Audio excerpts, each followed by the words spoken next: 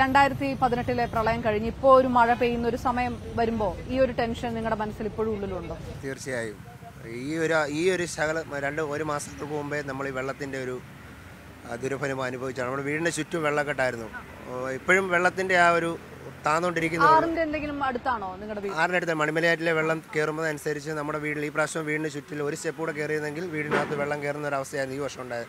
രണ്ടായിരത്തി പതിനെട്ടിലെന്ന് പറയുമ്പോൾ പതിനെട്ടെന്ന് പറയുമ്പോൾ കേൾക്കുമ്പോൾ തന്നെ ഒരു ഭീതിയാണ്. കാരണം പല ജീവനും രക്ഷിക്കാൻ എന്നെ പോലെ ഒരു വ്യക്തിക്ക് സാധിച്ചു എന്ന് പറയുമ്പോൾ തന്നെ എനിക്ക് അഭിമാനമാണ്. കാരണം എന്റെ വീടിന്റെ തൊട്ടടുത്തുള്ള ഒരു വീട്ടിലെ കഴുത്തറ്റ വെള്ളത്തിൽ രണ്ട് കുഞ്ഞും ഒരു അച്ഛനും അമ്മയും നിന്നപ്പോൾ ഞങ്ങൾ മൂന്നാൽ സുഹൃത്തുക്കൾ ചേർന്ന് ചെങ്ങാടം ഉണ്ടാക്കി ചെങ്ങാടത്തിൽ പോയി രക്ഷിച്ച് റോഡിൽ കൊണ്ടുവന്ന ഒരു അവസ്ഥയുണ്ടായി അതുപോലെ തന്നെ ഭക്ഷണത്തിന് ഭക്ഷണത്തിന്റെ ഉള്ളേരിയുള്ള ആൾക്കാർക്ക് ഭക്ഷണം കിട്ടാതെ വന്നപ്പോൾ അടുത്തുള്ള കടകളിൽ ചെന്ന് ബ്രെഡ് ബ്ര- ബണ്ണ് അങ്ങനെയുള്ള സ്വരൂപിച്ച് ഞങ്ങൾ ഇത്ര കുത്തൊരുക്കിൽ നമ്മുടെ ഒരു നീന്തറിയാവുന്ന ഞങ്ങൾ ഒന്ന് രണ്ട് വ്യക്തികൾ നീന്തി നമ്മുടെ ദേഹത്ത് വെച്ച് കെട്ടി ഞങ്ങൾ വെണ്ണ ബ്രെഡ് അങ്ങനെയുള്ള അകത്ത് എത്തിച്ചപ്പോൾ അവർക്ക് കിട്ടിയ സന്തോഷം.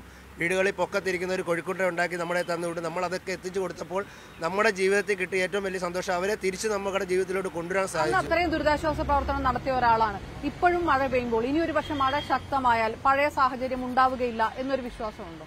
ഒരിക്കലും പറയാൻ പറ്റത്തില്ല. കാരണം രണ്ടായിരത്തി പതിനെട്ട് എന്നുള്ള ഒരു ഭീതി തന്നെയാണ് ഇപ്പോഴും നമ്മുടെ കല്ലിശ്ശേരിക്കാർക്ക് നിൽക്കുന്നത്. കാരണം ഉള്ളേരിയപ്പെട്ട ഏത് ചെറിയൊരു മഴ പെയ്താൽ പോലും വെള്ളം കയറുന്ന ഒരു അവസ്ഥയുള്ള വീടുകളാണ് കൂടുതലും. അപ്പോൾ രണ്ടായിരത്തി പതിനെട്ട് വീണ്ടും ആവർത്തിക്കുമോ എന്നുള്ള ടെൻഷനിലാണ് ഇപ്പോൾ എല്ലാ മനുഷ്യരും.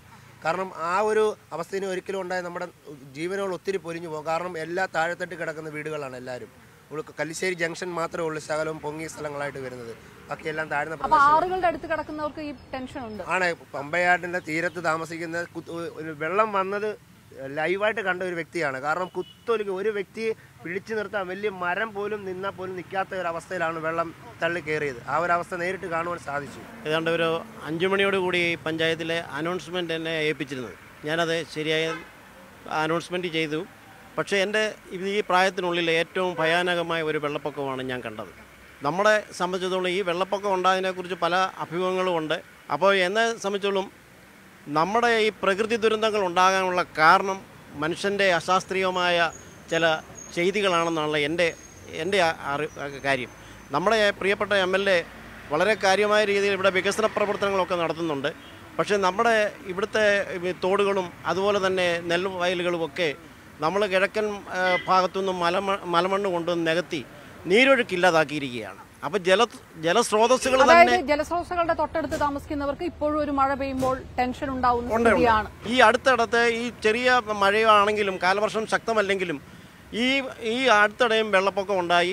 സത്യം പറഞ്ഞാൽ ഇപ്പോഴും ഭയാനകമായ രീതിയിലാണ് മനുഷ്യൻ. ഇനിയും ദുരന്തങ്ങൾ ഉണ്ടാകാൻ സാധ്യതയുണ്ടെന്നാണ് എന്റെ നിഗമനം. കാരണം എന്ന് പറഞ്ഞാൽ ഞാൻ പ്രവചിക്കുകയല്ല.